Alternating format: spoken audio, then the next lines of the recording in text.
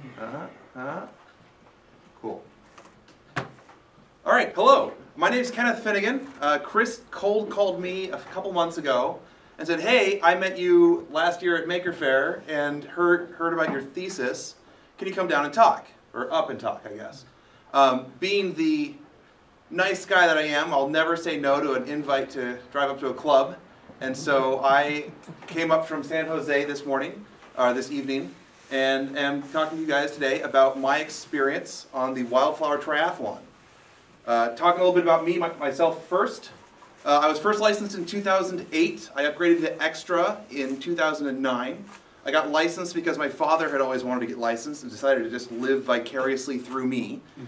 he, he figured it was a lot easier to just buy me the book and make me do all of it. I eventually made him go back and get his license as well, so he's also licensed.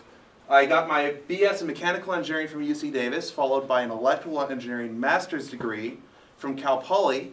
Um, I met a couple buddies that uh, eventually became good friends of mine through Field Day during, during my undergrad, and they talked me into transferring to Cal Poly for my MSEE. So it's amateur, amateur radio is the reason I transferred and became an electrical engineer. My master's thesis while at Cal Poly was on APRS. This is originally my master's thesis was going to be looking at just the amateur Bell 202 modem. But as I started to dig more and more into APRS, I realized that the biggest issue with APRS wasn't the modem. It was the fact that there's no nothing even resembling a specification for it. And so my master's thesis was just looking at all of Bob's ramblings on the mailing lists and figuring out what we don't even really know. So I, I have a, it's about a 70 page document just talking about ambiguities in APRS. So if you're bored and want to have a fun read, it's a bucket of fun. Um, other than that, in, in my free time, I'm mostly, it, when it comes to amateur radio, I'm primarily based on VHF and UHF FM um, primarily focused on repeater systems, infrastructure, digipeaters, uh, solar off-the-grid systems. So last month, I for the West Valley Club in San Jose, I gave a whole talk on sun-powered radios. That video will hopefully eventually get up, or I'll come back next year and give it here. Um, which, much of that experience came out of the Wildflower Triathlon, which I'll talk about. As far as my day job, my day job is I am a solar applications and test engineer at Solar Junction. Solar Junction is a little outfit in San Jose. We design and develop multi-junction solar cells, and we hold the second world record for solar cell efficiency. Your typical flat panel silicon you've got on your roof is about 15 or 20% if it's really good. Our, our cells are 44%. Wow. That being said, what we're gonna what I, what I want to talk to you guys today about is the wildflower triathlon, right? So we're first going to talk about what a triathlon is, um, kind of the general idea of how amateur radios support events, which you guys are likely relatively familiar with. Um, so we're going to talk about what we do, the radio sites that we build up, which is kind of my pride and joy in, in the organization, and then our APRS and repeaters, the infrastructure we set up for it, and then finally talking about the counterpoint of our amateur operators versus commercial. We actually use commercial radio for this event right? And so I'm going to talk about a little bit of the counterpoint on that. Of course, this is a two-way conversation, so if at any point, feel free to interrupt me. Not that I think you guys need encouragement. Um, so first, let's talk about what a triathlon is. A triathlon is a swim, a bike, and then a run, right? And so a the wildflower the wild for the wildflower event, we actually have four different length courses. Is we have what's called the long course, the mountain bike sprint course, an Olympic course, and then an on-road sprint course. So we have two events on Saturday and two events on Sunday of the weekend. The main event is the long course, which is a 1.2 mile swim, a two mile run, which I'll explain in a second, a 56 mile bike ride around the lake, and then another 10.9 mile run around the park itself. Right? Uh, the event happens at Lake San Antonio down in South Monterey County. Um, and uh, it started in 1983. Started in 1983, originally as a bluegrass festival. And they figured, eh, it's a festival, let's have a triathlon. Right? The first one had something like, uh, what was it, 86, 83 athlete, 86 athletes. And reportedly, the, the first and second place finishers crossed the finish line in opposite directions. Since then, we've got it's gotten a little bit more organized. It is one of uh, the largest triathlons in the world. Um, when I came on in 2013, there was about 8,000 athletes and another 30,000 spectators inside the park that has one cell phone tower. right?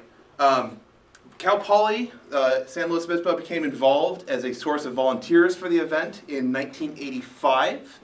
And the Amateur Radio Club, the Cal Poly Amateur Radio Club, became involved in the mid 1990s. Prior to that, it was uh, the county ARES provided some support, and before that, they just wung it, and look how that worked out for them. Right, and so the Cal Poly Amateur Radio Club became involved. Uh, two years ago, our great mentor who worked for the county communications shop um, needed to step down after, after supporting the event for 24 years. And so two of my friends and me, um, Chris, Marcel, and myself, the three of us decided to step up and we took charge of being the primary communications support, which you, which you will see in a moment, um, is a pretty big deal.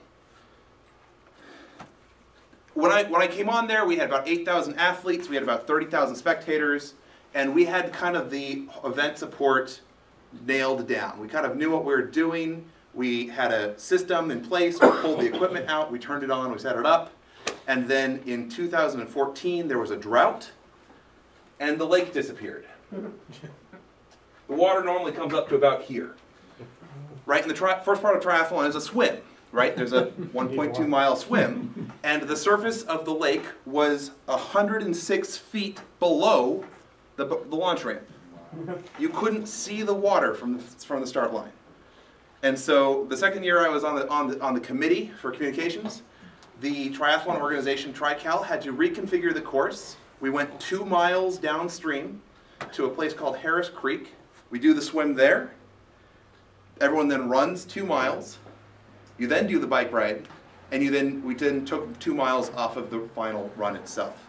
Right? So traditional triathlon is a swim, bike, run. Ours is a swim, run, bike, run. Right? Because the lake disappeared. Um, of course, from a communications perspective, this tossed pretty much all of our plans. And so, last two years ago and last year, we had all sorts of fun scrambling around trying to figure out how do we support an event that has a new start line, which always happened to be a dead spot, right? Because Harris Creek was just it was a run aid station, no one cared. You know, we didn't have good coverage there, but who cares? Because there was like four guys out there, and now we've got the start line there. Um, so that was a, a, relatively large challenge where we had to go find a new radio site on the side of a hill with no budget. As far as the communications committee, um, hardcore, uh, the active volunteers that we have for the three months ahead of the event, we typically had about 12 to 15 uh, Cal Poly volunteers. And then the actual event itself, we pull in about 40 to 60 amateur volunteers right? As we actually we we do it as a whole Cal Poly alumni reunion thing. We have tri-tip and barbecue. I mean, it's a you know it's a whole ordeal. So our typical team's about you know 30 or 40 to 60 people, right? And so what what are we doing for an event like this, right? And this is this is kind of the part where we're talk, talking generally about events in general. Amateurs bring to the table the logistical ability the ability to logistically support an event, right? The, my favorite example was always the story of one of the aid stations runs out of oranges, right? Can you imagine on a cell phone trying to call every other aid station to figure out which aid station has spare oranges, and then getting on the cell phone to then start calling rovers until you can find one of the rovers to get there and pick them up, right? And so there's a story that while, while the, the race director is scanning through her cell phone to find the first aid station, we had already put out a call on net on the net control. Hey, what aid stations have oranges? You know, R4 has oranges, R6 has oranges. All right, R4 is closer. Which rovers near near R4? Go pick up three cases of oranges, take it to R2. Right? And so the fact that we have this one channel that everyone can hear and everyone can listen to is tremendously valuable. The emergency support, of course, is something that we all pride ourselves in, right? in the case of a medical emergency, and um, there is no cell phone coverage somewhere, we can still get through, right? And so uh, the ability to communicate where no one else can is something that we are quite good at. Um, bringing, no, uh, feeding knowledge back into Race Command is something that's quite valuable for this triathlon uh, because this triathlon has quite a bit of media coverage. And so one of the, one of the major one of the major sources of traffic for us is play-by-plays out in the course. This athlete's in front of this athlete. This athlete just passed this athlete on this corner. The athletes are coming around this bend.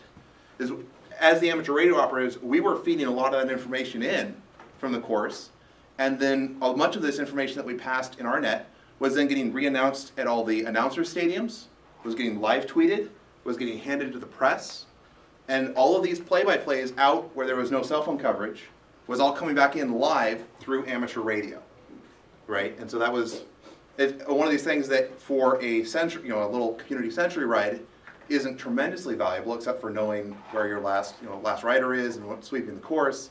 But for these commercial events, um, was tremendously valuable. Excuse me, Yes. so you're handing out Baofengs to all those people so they can monitor the channel, or you're going through net control with that information?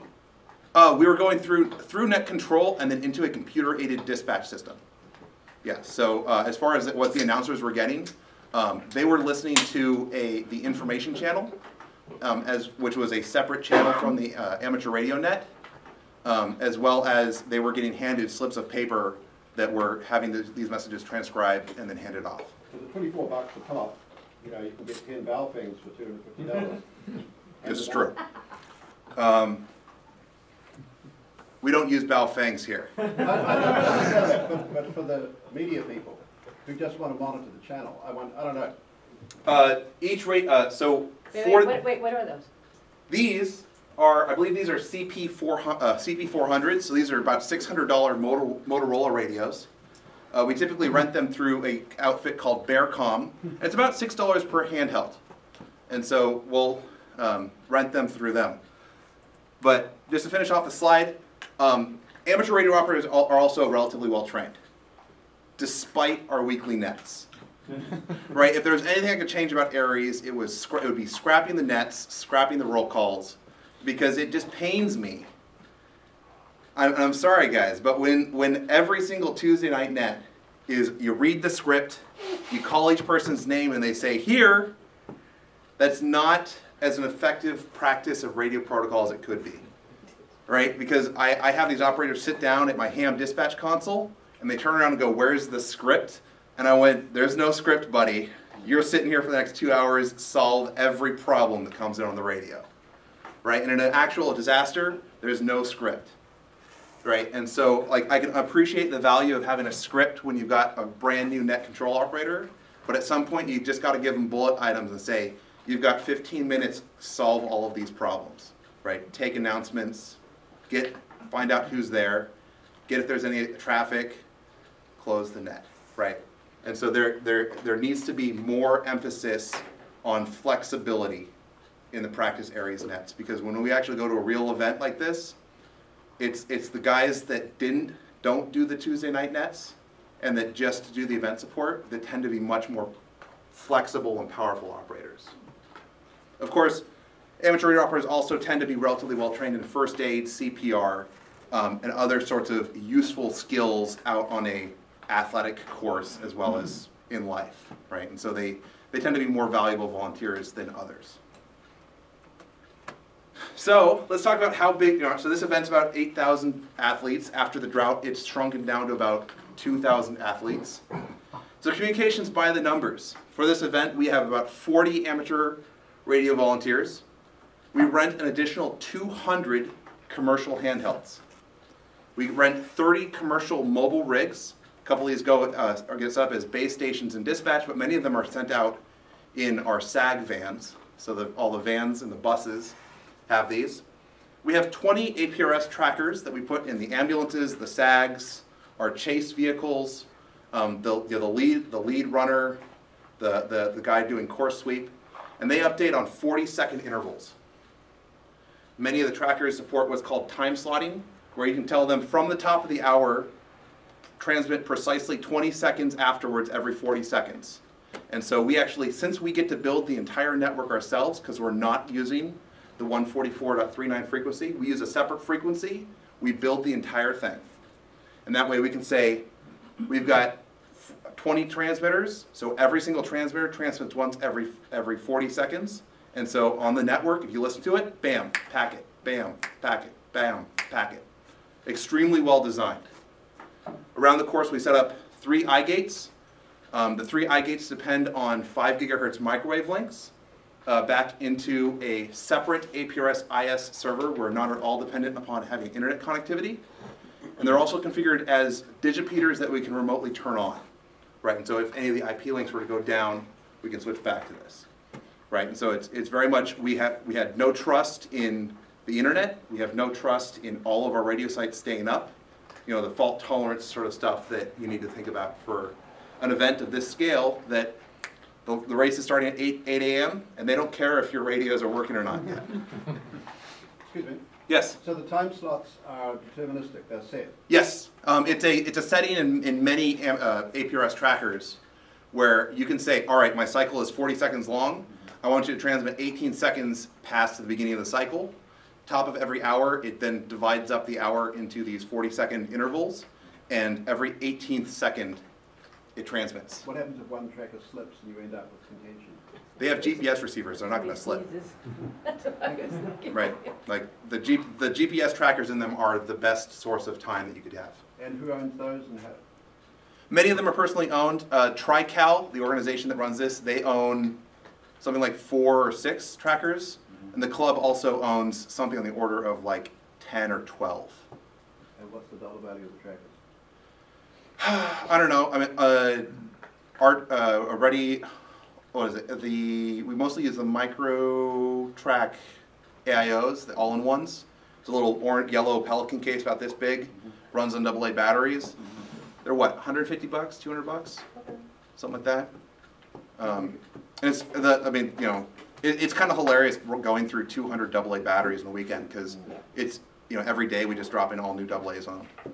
But the, the, the AIOs are really nice because it's just a little Pelican case. You slap it on the top of the ambulance and they roll out. The biggest challenge we have is actually finding somewhere to put the mag mount because ambulances are mostly fiberglass, right? Like we're sitting there like we're, we're trying to find like the one metal metal stud up in the top. Like We're like, refrigerators, can't put any stickers yeah, on you know, refrigerators anymore. right? New Ford trucks, aluminum.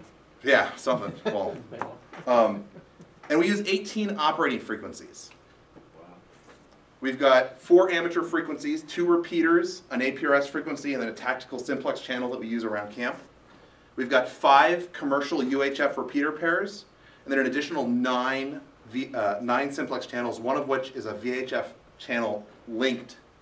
Uh, one of them is a, is a VHF channel linked into one of the repeaters, and then three of them are cross bands to other, um, other channels. I guess, and I didn't even count uh, interoperability frequencies such as CalCord for when we fly in uh, helicopter medevac. Yes, sir. How is the commercial licensing handled? Excellent question. I bought one. $165 and about 12 hours of my time. 10 of those hours sitting down and reading the FCC website, learning how to do it.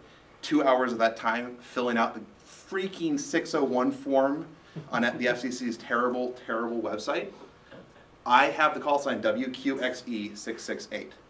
It's my commercial call sign. And it's hundred and fifty-four megs? My, the license? No, no, Four sixty, and the channels, is it four sixty or one fifty-four? Gigahertz. Oh, um, it's a lot. I've got about 25 different frequencies. No, but what band? Uh, VHF low band, VHF high band, and UHF. That's a mixture. Yeah, I got all, I, I got, um, all of them. I- Is that, is that a hundred, you said hundred and fifty or? It's hundred and sixty-five dollars to fill out and file a six oh one form. And, and is that just for the one event that you get to use those? or It's a is that- ten-year, it's a ten-year license, so, alright, so what I got is I got a business itinerant frequency, which is an uncoordinated frequency set. So if I interfere with another commercial user, we have to sort it out, hopefully not with fists. Um, what it, what it comes down to is certain frequencies in the Part 90 business pool are designated as itinerant frequencies. Uncoordinated, everything goes, have fun. And so I sat down and filled out the 601 application saying, I would like this frequency and this frequency and this frequency and this frequency, and I just so happened to list all of the itinerant frequencies because it's one flat rate. And so at the expense that I had to go through every frequency in the business pool and figure out if it was itinerant or not, I have all of them. Um, filled out that form. As in, for the location, typically on, a, a commercial uh, license, what you do is you say within 16 kilometers of this GPS coordinate. I merely said south of line A in the continental US. so for the next 10 years, I am licensed to oversee the operations of two repeaters and 300, because I just picked a number, I'm like, ah, 300 mobile, mobile stations. That seems about right. right, and I've seen licenses go up to 5,000. 5,000 mobile rigs south of Line A, so I can't operate next to Canada. Normally, com- uh, itinerant frequencies do not permit the use of repeaters whatsoever. How'd you get around that? That's not at all true. Is that so? Nope, there, you can absolutely license repeaters on itinerant frequencies. Wh- What's your ERP? Uh, I'm limited to 35 watts on the repeaters and 30 watts on the mobiles. Yeah. And AFSK is okay? Sorry? AFSK, FSK? I only license them for narrowband FM, but uh, there is no reason why you couldn't have licensed for some other mode. Well, hang on. So the narrowband FM includes FSK? No, I, I, I so it, as part of each line item on the on the license, I have to say I am operating uh, 11.25 kilohertz analog voice FM.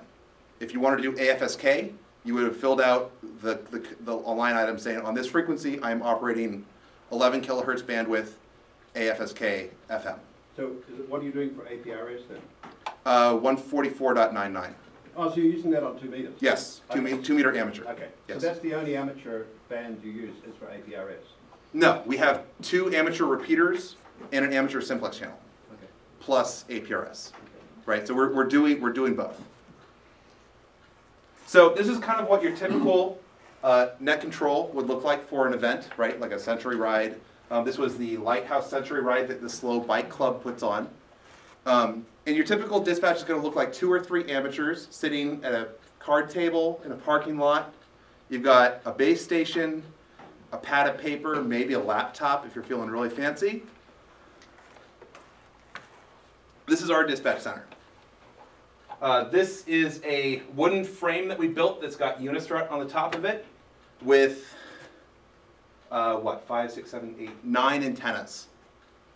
Right, so we've got an amateur base station to talk into the two, into the VHF and UHF repeaters that are cross-linked for the event. It's the W6FM repeater on Williams Hill. Ron's a great guy. So we've got an amateur base station. I've got an APRS iGate there, along with a entire APRS IS server. So we, any APRS clients that connect, can, can connect to the internet, instead point them at this server inside of our network, and it looks like you're online. Right, so we've got an APRS iGate, so that's the two amateur frequencies.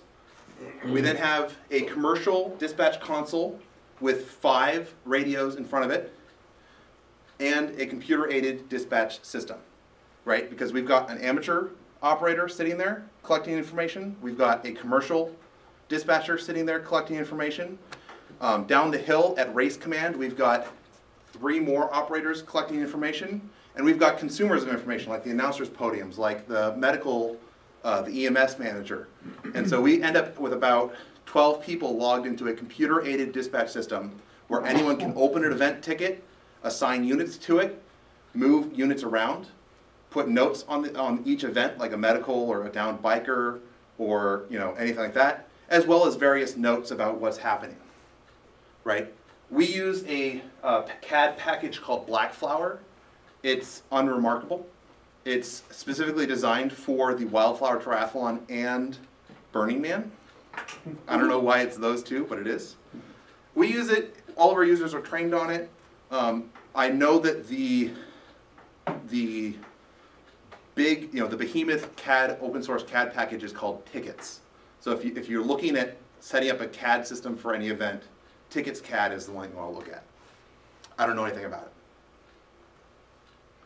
it. Um, inside of it, this is looking at, um, these three lovely ladies were provided to us by Monterey Parks.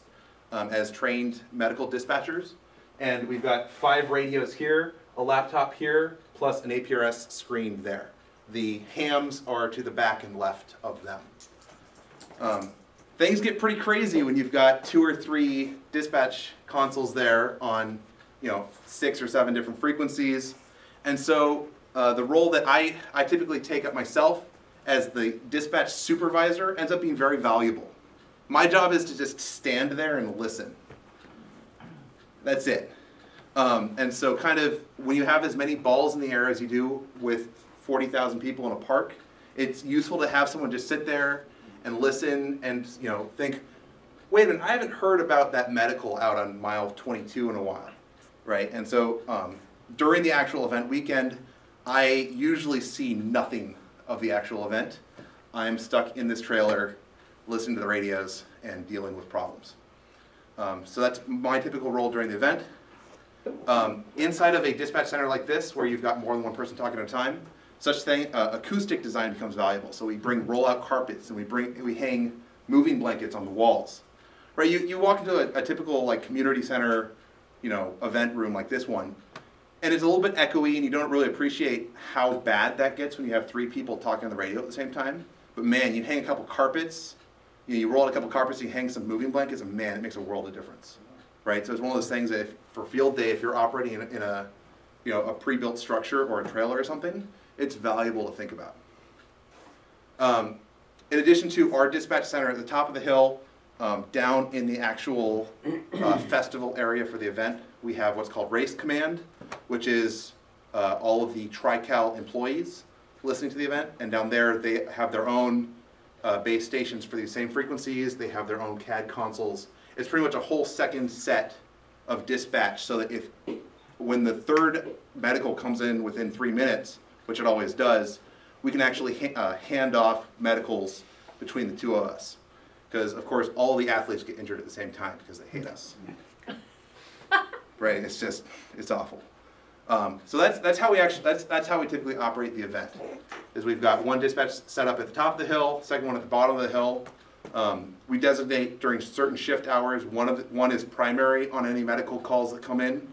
And so all of our volunteers that are scattered across the 12 commercial frequencies are trained. If you have a problem, switch to channel one and call for call for communications, right? And if uh, we don't answer within 30 seconds, race command then answers for us, right? And So that's that's how we handle the event itself. The problem, well, I wouldn't say the problem. The fun part for me is the two months ahead of time setting up the system, right? And so we have typically three or four radio sites that we build out across the lake because there's pretty much no infrastructure there. We've got Williams Hill with the W6 FM amateur repeaters. So the amateurs tend not to be very much work because I just call up Ron and say, hey, Ron, cross-link these repeaters for us, pretty please. We'll donate some money afterwards. Um, and so for the event, for the commercial users, we have to build all of it. None of it's there. Um, the, first, the first site that we typically build out is called Radio Hill. Back when the lake was full, this was pretty much it as far as radio sites. Is we, we had nicely poured a concrete pad. We had a couple of signal boxes mounted there, as you can see here. You know, it was real easy to get to, and pretty much right when we were putting the finishing touches on it and about to mount a, a nice, you know, 40, 50 foot tower there, the lake drained, and this site's relatively peripheral now. Right? As far as what we have there, um, a month before the event, we set up one of the commercial repeaters on one of those 12 hour spa twist timers right? And so we we have a couple of our users trained that when you show up to the lake and need a repeater for the weekend, someone drives out to the site, yoink, twist it for 12 hours, and 12 hours later the repeater turns off, right? Because it's on solar power, that is relatively valuable. Uh, we have a, so that's, um, one of the UHF sticks is for that uh, temporary repeater. We've got an X50 there for uh, the uh, APRS digipeater. Um, during the event itself, the digipeater sits silent and is only an iGate, but I can send it a remote command and say, become a digipeater again, and it'll become a digipeater. Um, we also have a VHF and a UHF commercial stick there, um, which together are a crossbander into the park rangers radio systems, which are all VHF, so that our users that are all UHF only handhelds can talk directly to rangers when we need police enforcement, which we typically usually do is it's, it's not unusual for us to get a couple uh, athletes or spectators a little rowdy, or volunteers a little bit rowdy, and we'll have rangers come out and talk to them. Um, Again, this is just my understanding that the cross-service uh, interconnects are, are not permitted between uh, commercial and public safety, public safety frequencies. How do you, how do you get around that, or is that just a permission? deal? We have, we have signed memorandums of understanding as well as faxed notifications that we send But the out F- to. But in terms of the FC, in the FCC rules, you're not permitted, like, like, as an example, I gotta just ask the question. Uh, I have commercial radio using the six meters. It has a mobile repeater capability. Now, I could hook it up to receive, uh, low band bar frequencies and rebroadcast them on ham frequencies. That is strictly verboten, because you cannot connect the, the two, my understanding. Uh, So you- both, both is that- sides of the crossband are a Part 90. Okay, Right, so the VHF side is the Monterey Parks um, licensed repeater that they have there. The UHF side is one of our licensed simplex channels. So there's nothing, the only thing amateur radio about this site is the APRS digipeater. Um, and we have a 5 gigahertz point-to-point link out here. Um, this is all powered by a 400 watt solar panel here um, and a 100 amp hour uh, uh, gel battery, which is a whole nother talk. Yes, sir. Is that the unlicensed ISM band, five gig? Uh, it is part 15, unlicensed. So I- Five point eight gigs? Uh, yeah, yeah, no, I've, I, I don't use, I do quite a few projects on five gigahertz, and I've never done part 97 on it because I really, really like encryption. And particularly when you put 30,000 people in a park that all really, really want internet, having anything open is a bad idea. Yes, sir. I'm sure to get to this some, at some point, but talk about your budget. Oh, uh, our typical budget, um, we, for capital expenditures, we have about a thousand dollars, um, per year. Uh, we then have another couple hundred dollars in directed donations that we send to the amateur radio organizations that support us. And then our radio rental is several thousand more dollars. Um, as part of the, the rental, right, so that's, uh, Right. these guys, right? So we've got 200 HTs, 30 mobile rigs. Uh, what we traditionally did was, did was we rented the repeaters from BearCom as well, right? Handhelds are relatively easy to program, right? You just put the channels in and they're there, right? They have to have labels. God, it's hard. Repeaters, God, repeaters. Not only do you have to put the right channels in there, you got to tune a duplexer. You got to have like the power supply set up right and cables and the duplexers have to be like tuned for the right frequencies and the two antenna ports have to be plugged into the right ones on the duplexers and it was just a shit show every year right these repeaters would show up thursday night for the event right and the fact that they were showing up thursday and not friday night was because we twisted BearCom's arm and said no even though we're only renting it for the weekend we need it sooner they'd show up all sorts of misconfigured and our entire thursday night would be spent just fixing repeaters and so two years ago, we finally just said, had had it, and we went on eBay and we started buying GR1225 Motorola repeaters. They're only like 400, 500 bucks a piece, right? Most of them don't work, but if you open them up and reflow all the solder joints on the PA, right? They, uh, most of them actually showed up and rattled. The, the, the primary failure mode for GR1225 repeaters is that all the solder in the PA would melt and a component would fall off. The components are perfectly fine, they're just no longer attached to the board.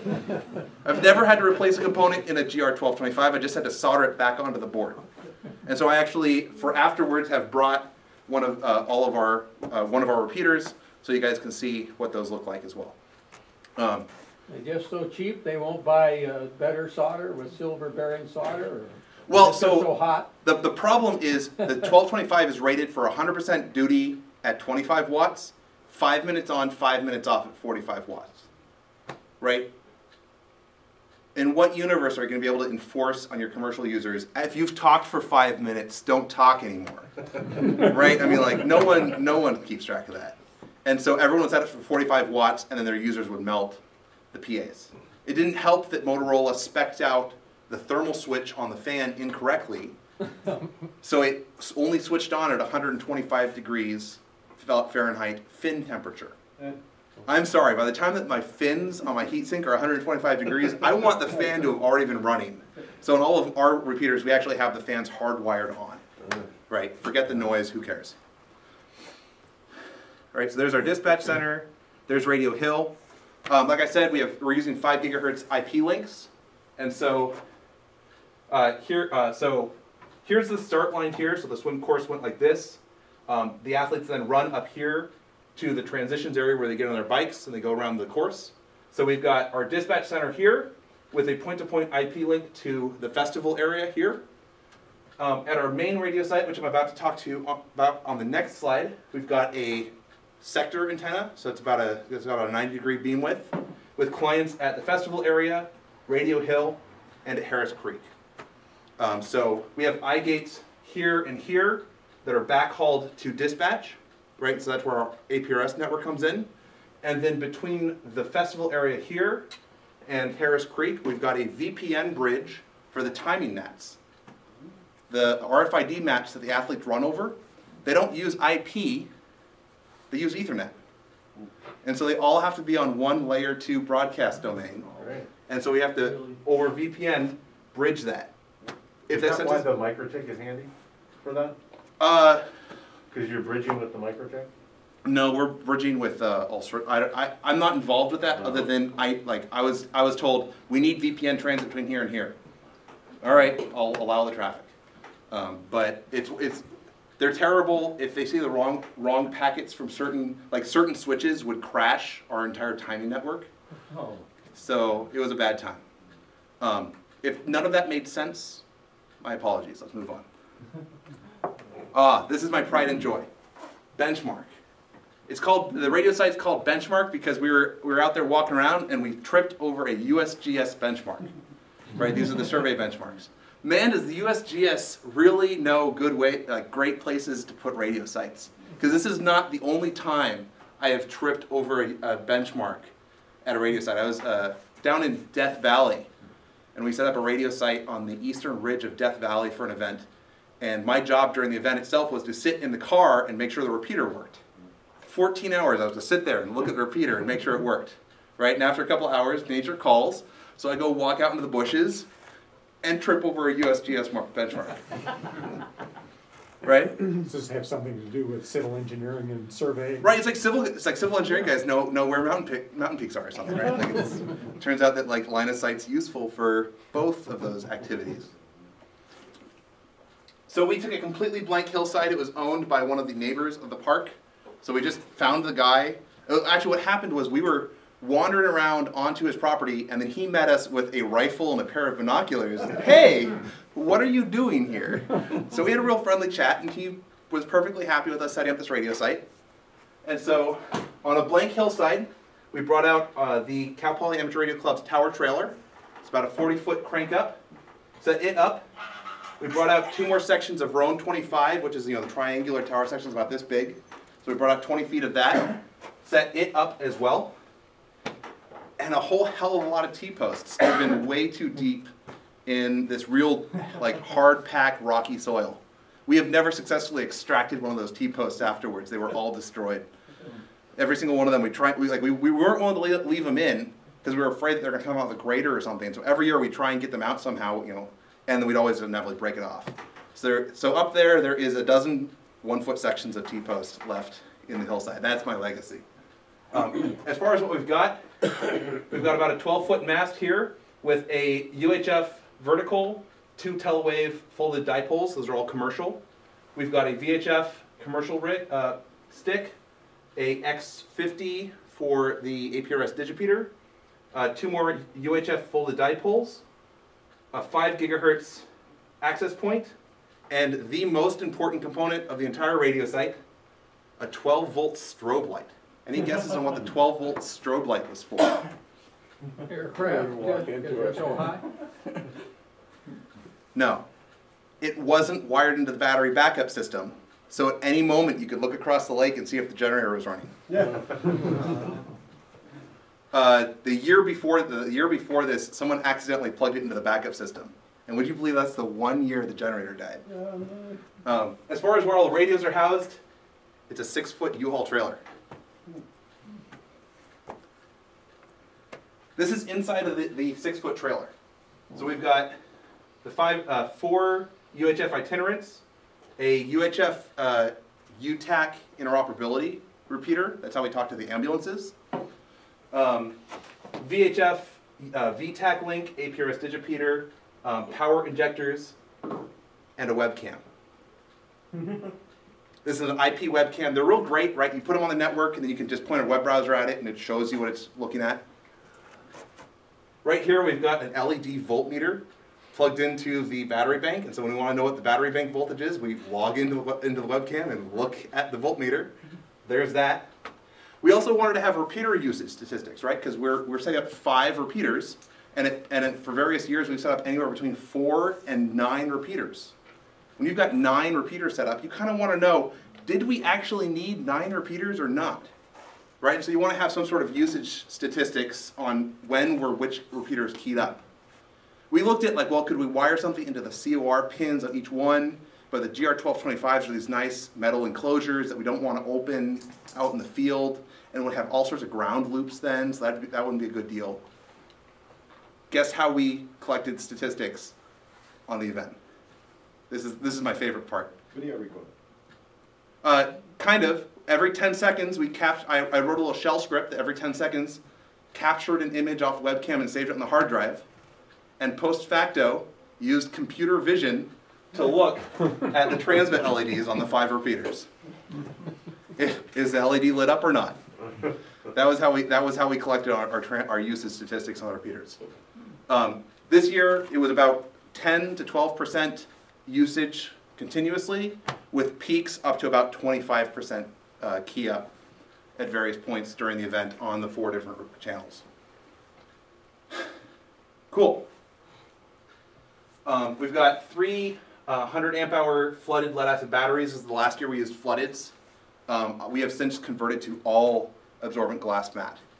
To hell with flooded batteries. You, like it's slightly more expensive to get AGMs.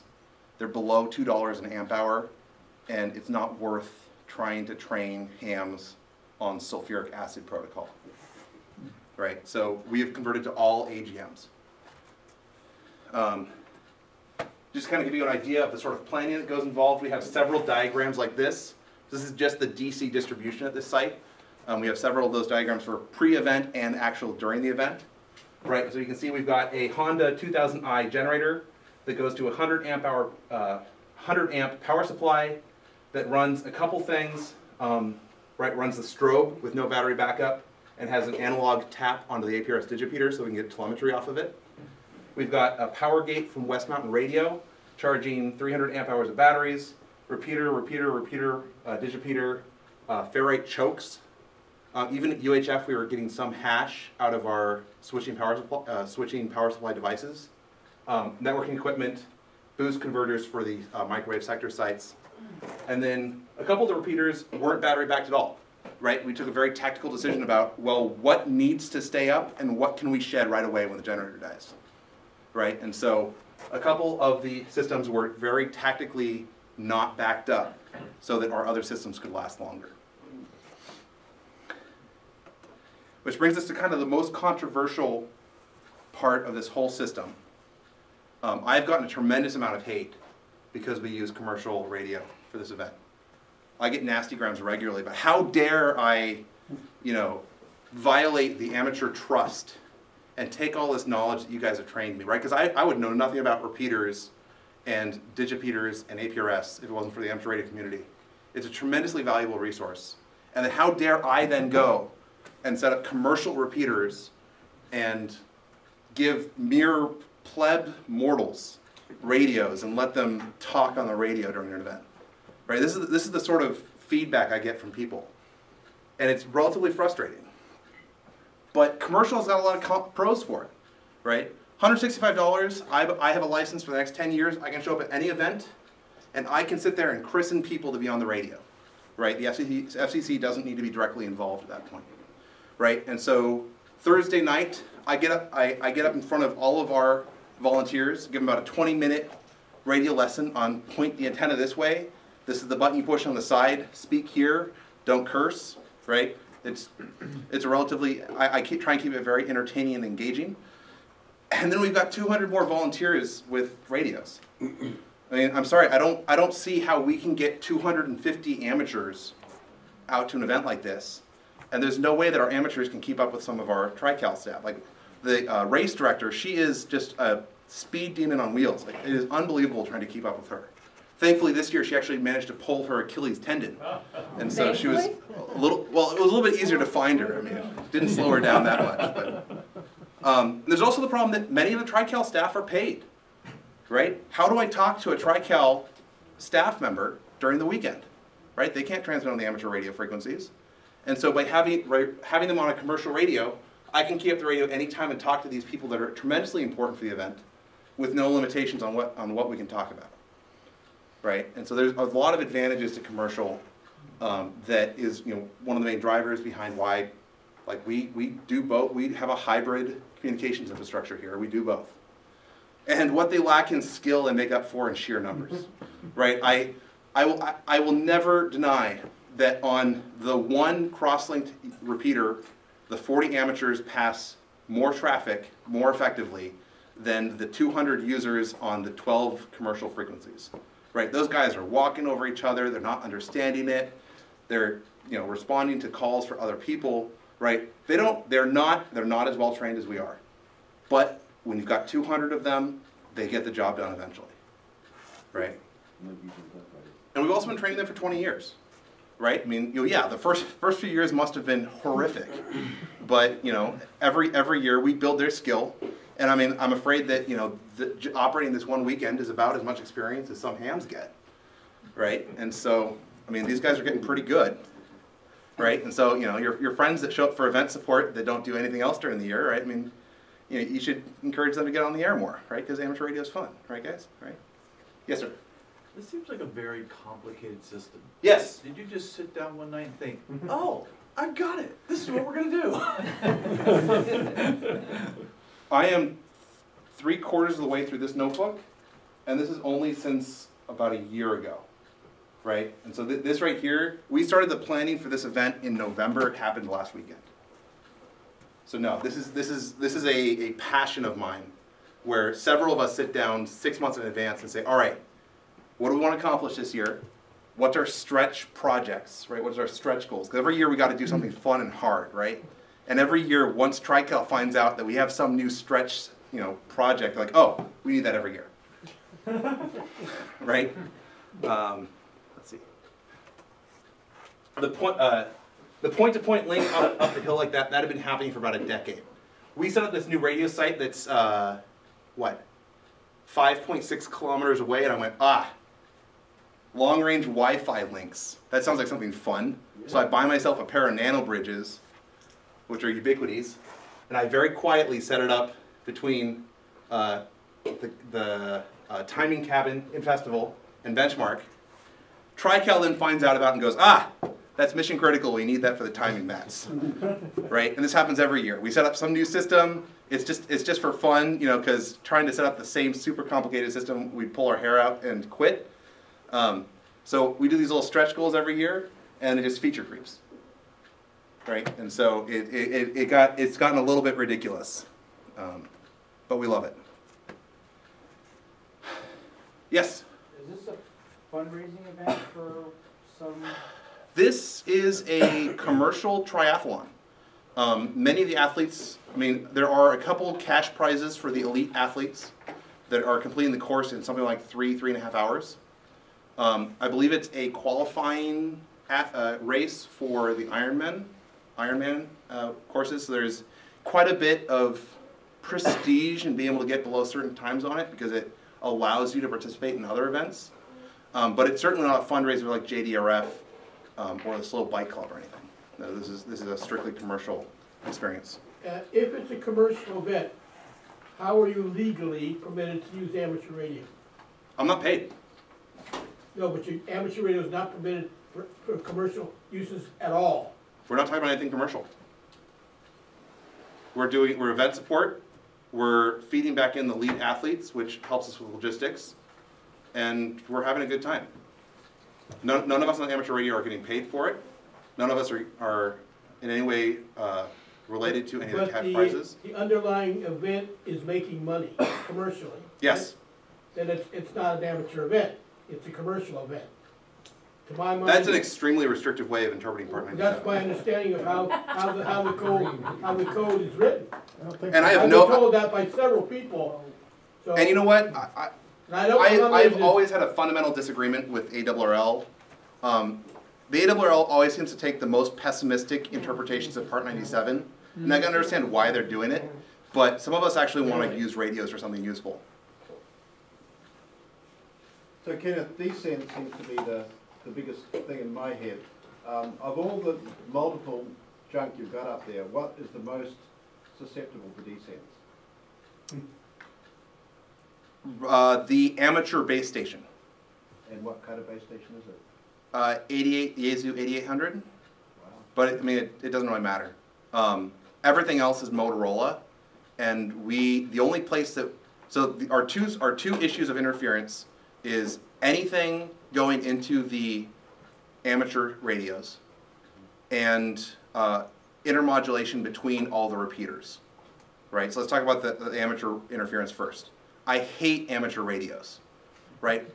I, I understand why they want to put it, the sticker on the box about how this radio receives from 500 kilohertz all the way up to 999. but God, I wish they put some sort of front end on it so I could only do UHF on it, right? Because it would be so much more useful, right? Because at events like this, where I've got nine antennas on a 10 foot piece of unistrut, when I go to commercial radio sites to do tower climbing, which I do as well, I can't use amateur equipment there because it's garbage, right? And so the amateur base station, it typically gets desense from our commercial guys. Um, and then all of our repeaters um, at one site like this, uh, this is nowhere near enough antenna separation between separate repeaters. Um, the fact that we're using portable notch-only duplexers makes the issue all the much more worse. And so part of our preparation that I do in this wonderful notebook ahead of time, I do a full intermod study on this radio site like it was a permanent commercial site. We had a seventh order intermod hit, right? That is the uh, fourth harmonic of one repeater and the third harmonic of another repeater mix in any rusty joint on the tower and heterodyne down to the input to a different repeater. And so anytime that our security repeater and our race repeater were keyed up, they'd key up our director's repeater, right? And so we, we did this intermod studies. We put a pass can on one of the repeaters, and every single repeater has a different input PL and output PL, right? So on the five repeaters, we use nine different PL tones, right? And so at least the intermod stopped being sustaining, right? Because the worst thing is it, sustaining intermod, where two repeaters key up each other and hold them on until they time out five minutes later, right? And so tremendous amount of issues with the intermod there. But as far as desense, any commercial rate, uh, commercial, decent commercial radio, almost no desense. So what do you do for APRS? Because that's my particular concern. What receivers are you using? Uh, M- primarily MCX 1000s, I don't know what that is. uh, Motorola radios. Oh, so you're using commercial We're, radios uh, yes, uh, the Cal, uh, Cal Poly Amateur Radio Club and the SLO ARES group has a tremendously close relationship with the San Luis Obispo County. And so when the San Luis Obispo County uh, Police Department decommissioned all of their wideband uh, radios, they all went to Slovak. Right, and so we got a pallet with like 40 or 50 GM300s on it. And that's every packet radio in the entire county is a ex county um, GM300. Yeah. Thank you. Have you considered, uh, for the future going to, to digital or going to trunked or going to trunk digital? Yes. Either Motor, MOTOTRBO or P twenty-five or some, Every every year, uh, our rental company tries to sell us on the concept of going to MOTOTRBO, and they always say, "Hey, the range on MOTOTRBO is longer than on analog." Right? And the thing is, so here's Radio Hill. Here's a ridge line. Here's a ridge line. Here's a ridge line. Here's a ridge line. About eighty percent of the course is fringe coverage. And on analog, fringe coverage sounds terrible. On digital, fringe coverage doesn't exist. And so, yeah, we were still narrow band analog because most of our users are fringe coverage. And with analog, uh, there's a lot of hints about when you're starting to lose coverage, right? If we, if we had these people out there that don't really understand how the radios are working, Yeah. and the radio just goes silent, how are we expecting them to figure out which, which direction to walk to try and get better coverage? Right? And so every year is a discussion. Every year we carefully consider, man, it would be so nice if we had a trunking system between all these radio sites so that people could, you know, have talk groups. It'd be super awesome. It wouldn't work. Or we don't have the skills to do it. Do you anticipate the, uh, it, it, it- just my opinion, that, that, uh, pretty soon they're gonna stop making analog radios? Or, or is that not the, the case? Because of the, the way the market's going? See, the GR1225 was introduced in what, 1993? I don't even know if they sell GR1225s anymore. I don't, I don't think they do. Yeah. Most of our most of our radios are already end of life. Right. So yeah, in 15 or 20 years, that may be a real issue. I hope I'm not involved anymore. there was another question. So you accomplish all of this with, on a budget of a couple thousand dollars a year? Uh, a, a- actual capital budget less than a thousand dollars. Including renting all those radios and, or is that the event? Uh, the, the, the radio rental from BearCom is a separate budget. R- renting the repeaters from me, because what I did two years ago is I started my own business just to rent repeaters to the Wildflower Triathlon because I was tired of it. Um, that being said, they sit in my closet the other 10 months of the year. If you want to rent a repeater for something, talk to me. Um, so that's separate. But as far as the capital expenditures for the antennas, the coax, the digipeaters, our base stations that aren't rented, um, all of everything that's actual tactile and sits there and isn't a rented handheld or mobile rig, um, that's all a thousand dollars. Right, and a lot of it's because we have um, five, 13, 14, 22, uh, 25, we have about 25 commercial antennas in a shipping container up there, right? So we buy two or three of those a year, which barely keeps up with them breaking. Um, we've got 1,500 feet of coax in various lengths that we've just collected over the, over the air, years. Um, ever, all the computer networking stuff inside of Dispatch is my personal equipment that I bring out and donate because they enabled me to learn how to build repeaters, right? And so I'm, I'm absolutely giving them back all of my uh, servers and stuff for the event itself. But yeah, less than a thousand dollars. Can you put your email address back up? Yeah. There's my email address, kennethfinnegan2007 at gmail. My blog is blog.thelifeofkenneth.com, where I write about the life of Kenneth. It's a relatively interesting life, I like to think. I have one. It's right there on the blog, thelifeofkenneth.com. It's pretty good. It's I like decent, right? It's, you know, it's. And then I'm also on Twitter if you want to listen to my daily 140 character snark. Any other questions? Very good. Thank you. All right, with that, yep.